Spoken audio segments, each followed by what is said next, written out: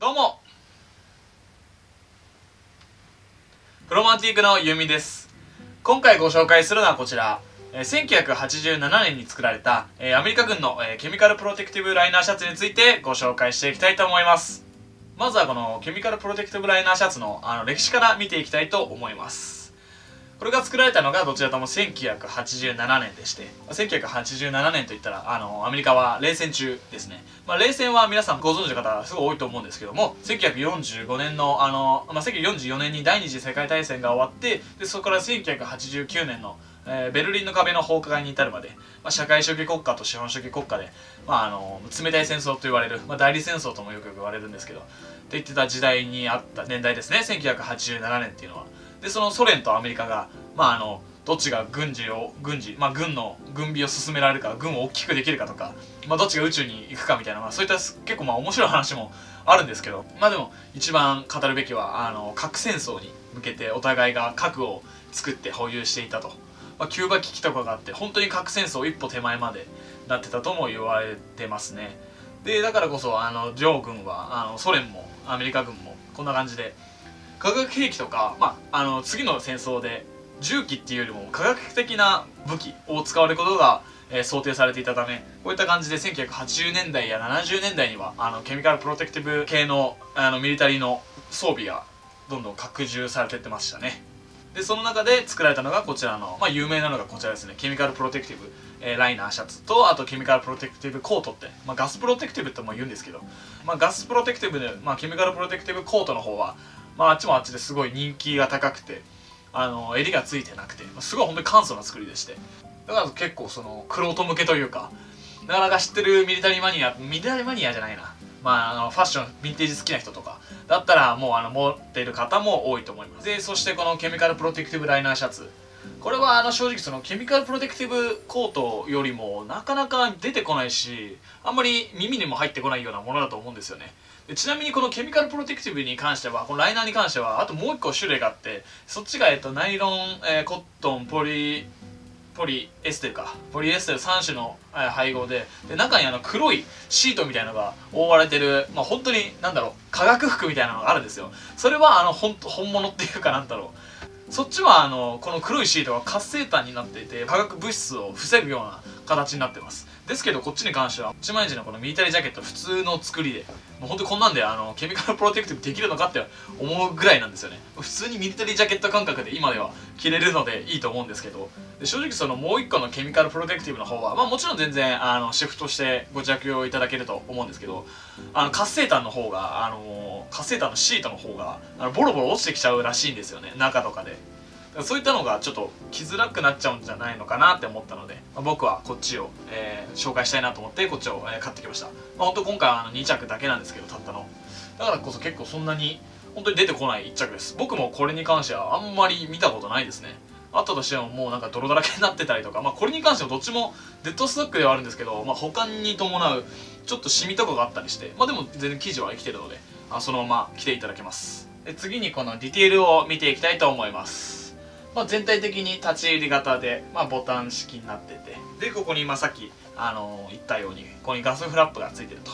だから結構簡素な作りなんですよね。でかつここにあのリブがついてて、まあ、リブに関しても、まあ、中の皮膚にあの化学物質が入らないようになってます、まあ、本当になんだろう。核兵器とかそういったものっていうよりもやっぱガスとかに防ぐために作られた80年代のケミカルプロテクティブライナーシャツなんじゃないのかなっていうのはなんとなく僕思いますね。で次に結構面白いのが裾のこのこのしつけの縫い返しがなぜか表側に来てるっていう。これもまた着た時にあの光とか当てた時にここだけちょっとなんか段差ができたりしてすごい面白い一着ですね。で生地はあの普通にミリタリーシャツ、まあ、ユーティリティシャツとかそこら辺と同じような普通のミリタリージャケットの質感です。なのでこれもコットン100で、まあ、特別ななんかこう科学的な繊維が入ってるとかっていうのは一切ないですね。で後ろひっくり返すとこんな感じで。まあ後ろも全然普通のシャツになってます。よいしょ。だけどやっぱこういったシンプルなあのミリタリージャケットとかミリタリーシャツっていうのはすごいいいですよね。なんかこう何の何の絹もなしにもう肩の力ダラーっと入れて着れるっていう。だからこれは結構そんなにあの着る服を選ばないっていうような一着だと思います。今回こちらのこのケミカルプロテクティブライナーシャツ。これなんかちょっと他のミリタリーアイテムに似てるって思いませんかね？僕的にこれ見た時に M65 じゃんって思ったんですよね。M65 のジャケットバージョンじゃんっていう。まあ、M65 の普通のものだったらフィッシュテールのものがあるんですけど、まあ、通称モッツコート。パーカーがついててとか、えー、ポッケがついてて。であのドローコードがついててでフィッシュテールの、えー、裾になっててっていう、まあ、そういった一着がまあ本当にミリタリーの中ではまあめちゃくちゃ有名な一着があるんですけど、まあ、それにかなり似てるなって僕思って、まあ、それのなんだろう正直言ったら夏とかは着れないと思うんですよね。あの M65 に関しては。さすがに丈が長いしちょっと暑そうだなっていう。まあ、本人は熱くないって言えるぐらいの薄いっちゃ薄いんですけど、まあ、僕も思うんですけどでもやっぱりコートを夏場に着るのはちょっとかなと思ってだからこそこういうのってまあ、あのケミカルプロテクティブ今回のライナーシャツってすごいだからちょうどいいなと思ったんですよね、まあ、春と夏に着て。でしかも秋にも着れるって、まあ、冬だったらもちろんこのライナーシャツなのでこれを中にしてあ外にコートとかいろいろ着てもいいと思いますし。だから僕が着るとこんな感じのシルエットになっててだから暑くなったらこんな感じで裾をまくってダラッとガバッと羽織ってでこんなんで、まあ、あのスタイリングを組んでいただければいいと思います。それでこちら M65 の襟に似てるからこそよいしょ。僕が大好きな M65 って結構僕あの一番上のボタンだけ止めて着てたりしてるんですよね。だからこそこのケミカルプロテクティブに関してはこんな感じでいければ結構かっこいいと思うんですよね。こんな感じで。まあ、これ全部閉じてももちろん、えー、かっこいいです。全部閉じるとこんな感じになりますね。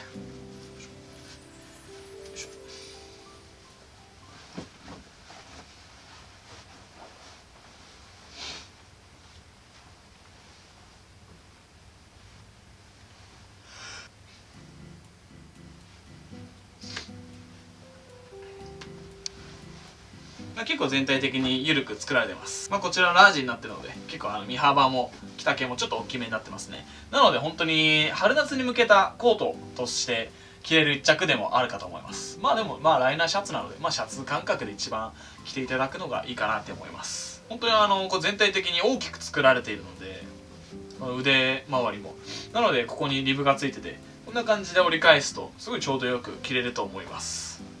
まあでもこれは結構春夏におすすめしたい一着なので僕的にはまあこれからの季節はあのボタンを取っちゃってこんな感じでもうさらっと羽織るぐらいでちょうどいいと思います。えー、というわけで1987年製の、えー、アメリカ軍の、えー、ケミカルプロテクティブライナーシャツについてのご紹介になりました。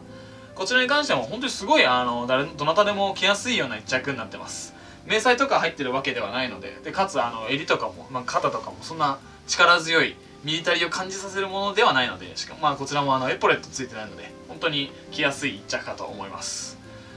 まあこちらに関してもあのちょっと汚れがあるのでちょっとだけ安くしてお出しするのでまあでもデッドストックなので本当に生地もピンピンしてますしまああの本当に目立たないぐらいの汚れまあ大きいっちゃ大きいんです。まあ薄い汚れなので、まあ、全然あの着る際にはそんなに気にならずに着れると思います。ここからまだまだあのフロマンティークの春夏は終わらないのでまだまだぜひぜひお楽しみにしていてください、まあ、とりあえずこれはもう本当夏とか春に向けた、まあ、夏の方がいいのかな。でも春なのかな、まあ、春の終わりとか、ま、5月6月とかにぜひ来てほしいような一着ですね。え、それでは、え、今回も、え、ご覧いただきありがとうございました。インスタグラム、チャンネル登録、えよろしくお願いいたします。えそれでは、